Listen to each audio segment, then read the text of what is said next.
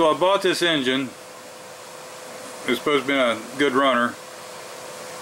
I took it apart to look and get the balance gears out of there because they was really sloppy and they're they weren't that's a whole different story but anyway the balance gears are gone and I seen a crack up on the one of the fins on the head and it's right there where it could go into like by the exhaust valve and stuff so I didn't want to put a whole bunch into this they said it was a good runner I seen the wear, I plastic gauged it, and it said it was right on the outer limits, so I tried it and it knocked.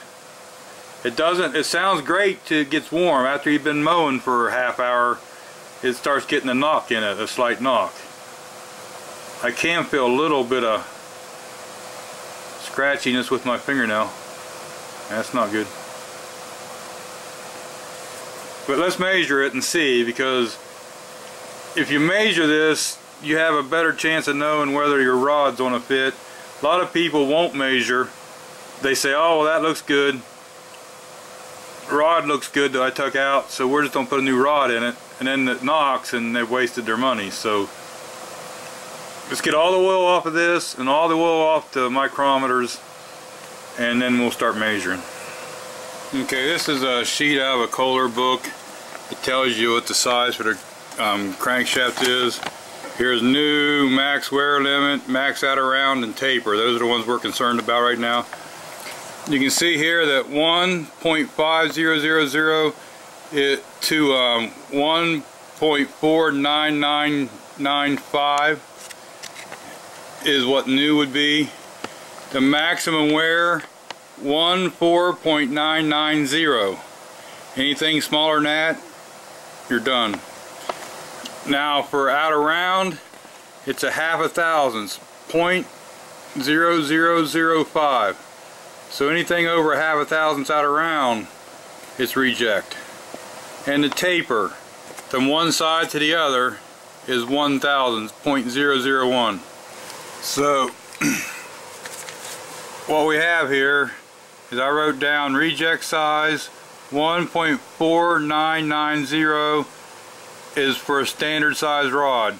I know we're 10 thousandths turned on the crank. So we're looking for a 1.4890 is our smallest we can have the rod journal. Now I did have that rod out and I did see if you get on a Kohler and you get a over an undersized rod I guess you'd call it um, 10 thousandths or something it'll have a little hole drilled in here in the center. So if you see a solid rod it should be standard. If you see a hole drilled in it, it means the crank's been turned and this is an undersized rod. Oversized, whatever you want to call it. Now here is is a half a thousandth. That's what we're allowed to have as out of round this. Here is one thousandth. That's what we're allowed to have as a taper on that crank.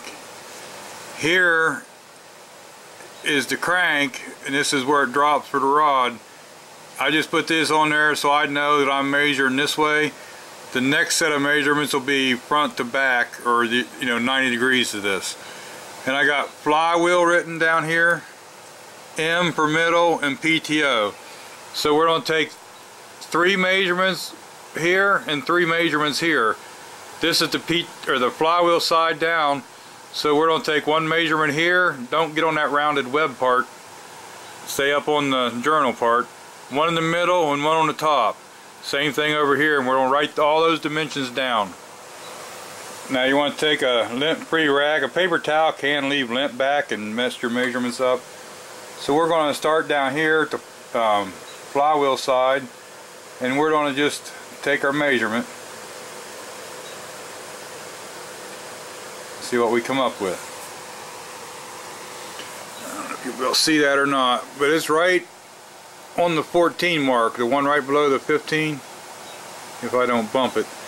But that would mean that you got one inch to start with, so you're up past the four, so that'd be four thousandths.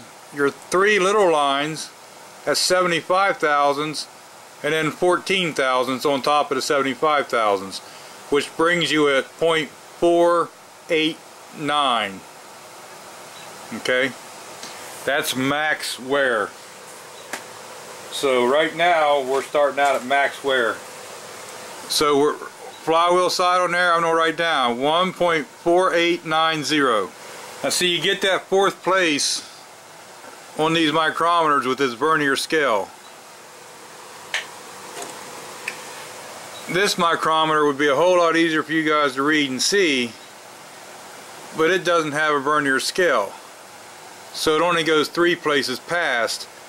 If, just say like right there, it's in between the two lines, these, each one of these is a thousandths, you would have to guesstimate if it's in the middle, quarter, or two-thirds of the way up, three-quarters of the way up.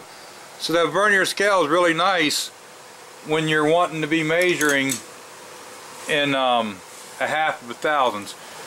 So let's go up to another one here. You know the crankshaft journal still has to be smooth and stuff like that for this to if the crankshaft journal has a bunch of gouges or something in it then you're probably going to want to get it turned anyhow.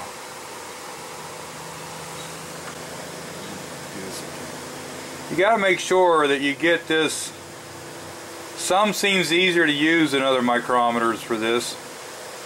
I think a lot of it is the condition your anvils are in. But, you know, if you tip this a little bit anyway, that's why you got to kind of fill it out. If you tip it in any way, you're going to get a false reading. And right there, I don't know if you guys can even see that, but we're right back onto the 14 again, one below the 15. So we're going to write that measurement down. So we wrote it down over here, 1.4890. Let's do our next measurement. Again, stay toward the top, but don't get on where it's been machined, that corner of the web.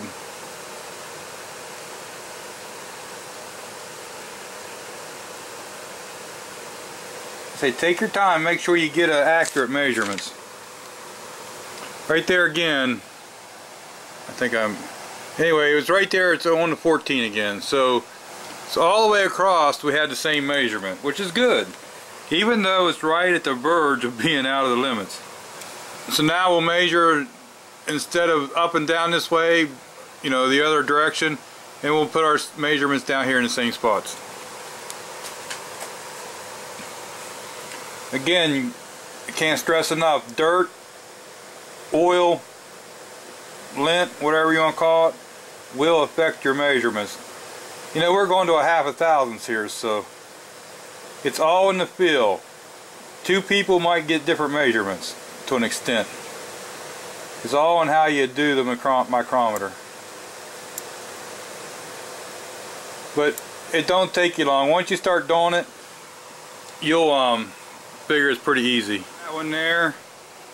Okay, you can see that one there, definitely between the 14 and the 15 line. It's not all the way to the 15.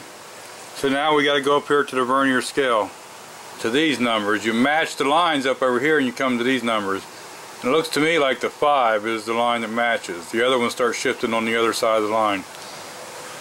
And now we're going to come up here and we're going to try to do it about halfway. Somewhere in there, halfway. Now let's measure up here at the top. Make sure your anvils are clean. Don't go up into that rounded web. And try to make sure you're you're square to it. And I got off the high spot.